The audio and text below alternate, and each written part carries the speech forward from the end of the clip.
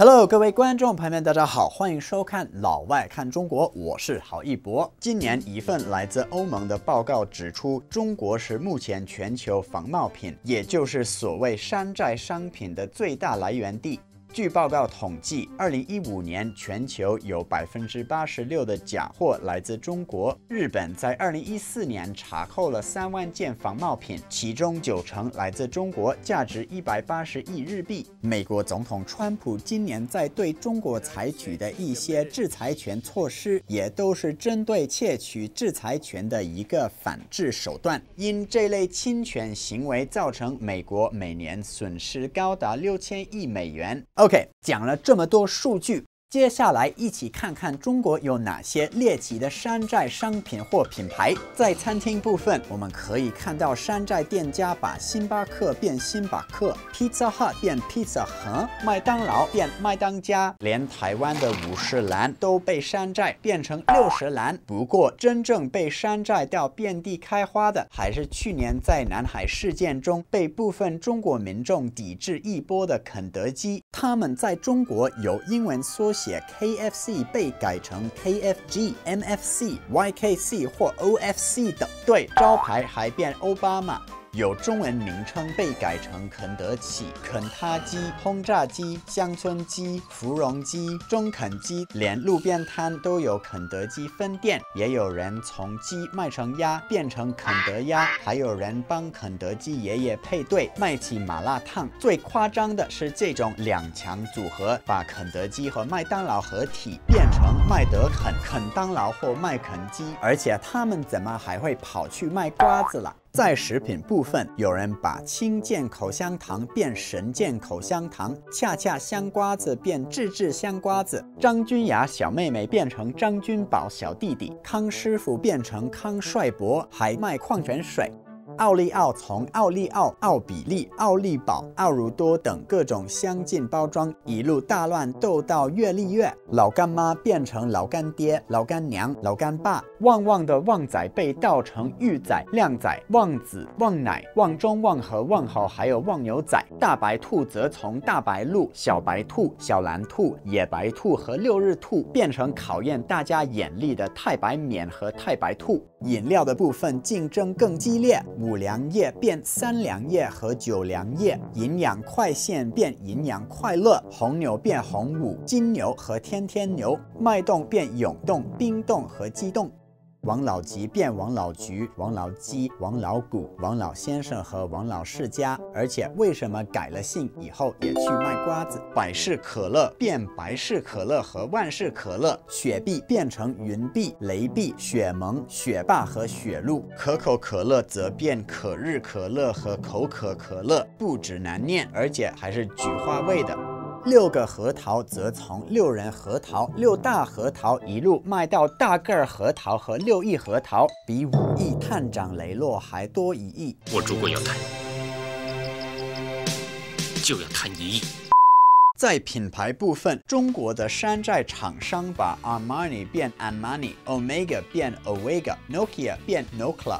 Olay 变 OK，Tide 变 Tide，连中文都改了，从太字变太贵。牛仔裤品牌 Lee 的 Lee 变 LGG，Beats 变 Deets，Xbox 变 Xboy，Lakers 变 Lakers，Nike 从 Nike 变成 Kine，Under Armour 变成火星叔叔 Uncle Martian，Air Jordan 变成什么呢？变成这个。I believe I can fly.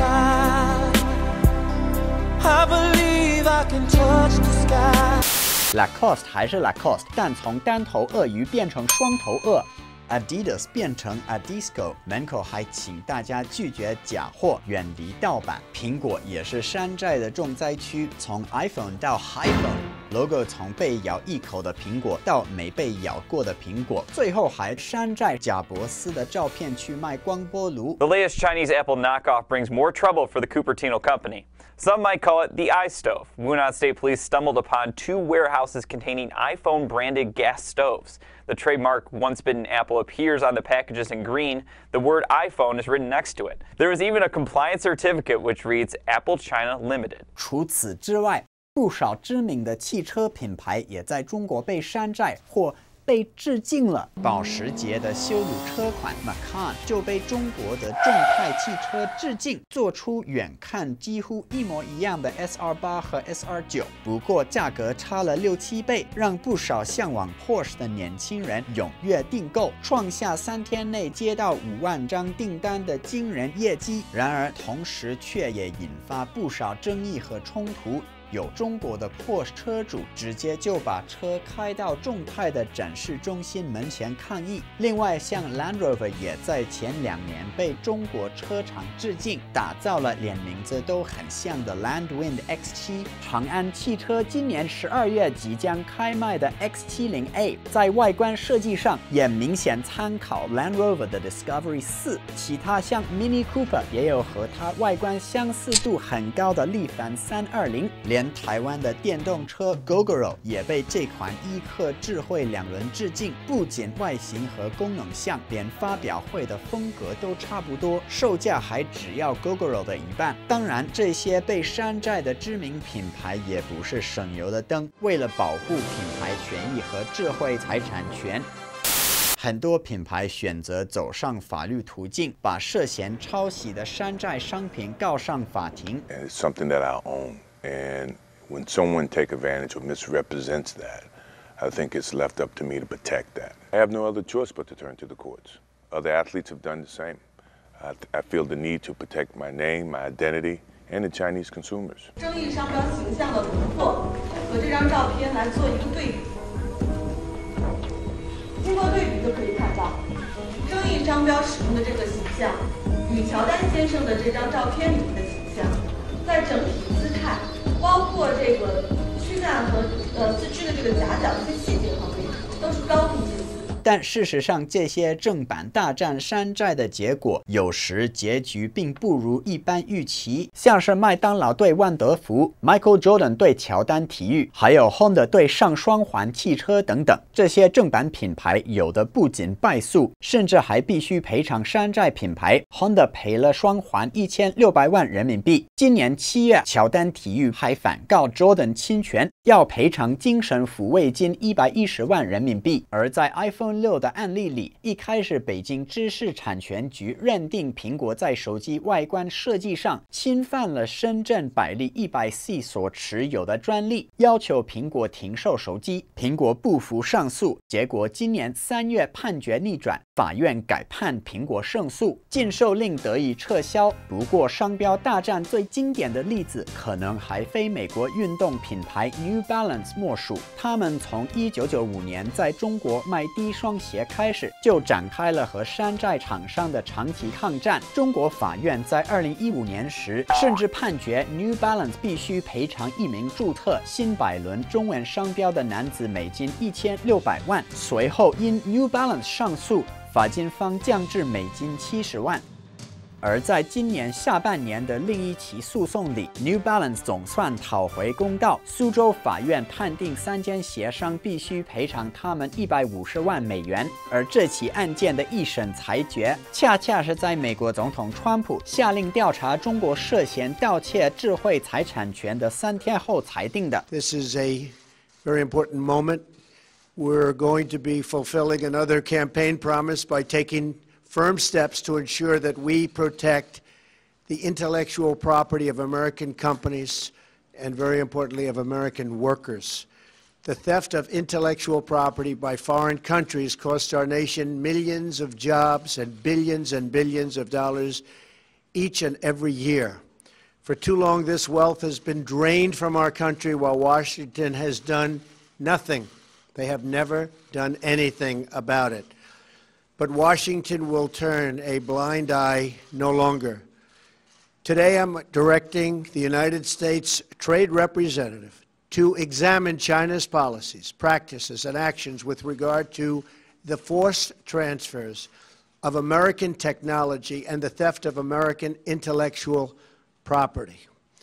As President of the United States, it's my duty and responsibility to protect the American workers, technology, and industry from unfair and abusive actions. 在另一个部分，品牌名称抄袭方面，为防堵未来的抄袭行为，一些品牌也预先将可能的山寨品牌名称抢先注册起来，即所谓的防御性商标。 像星巴克就把一堆类似的名字，星巴克、星巴克、星巴克、西巴克、星星巴、巴克星都给预先注册了，让有心人士无机可乘。有趣的是，中国本土的知名品牌也做了类似的行为，像是阿里巴巴就把阿里妈妈，等一下，他是我哥哥阿里妈妈。啊，阿里妈妈。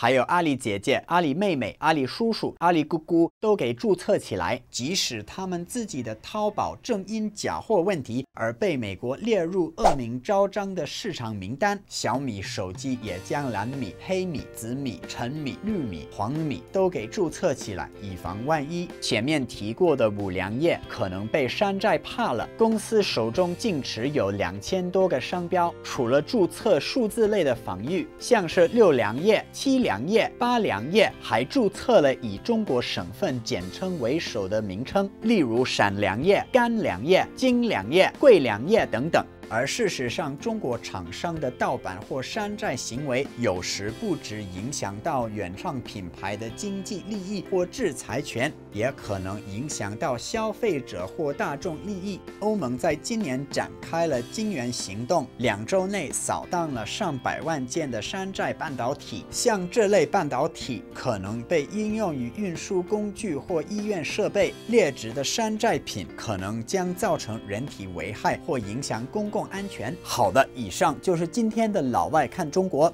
大家觉得如何？你们对这些山寨产品或中国山寨问题的看法是什么？欢迎留言告诉我们。今天就到这里，我们下次再见。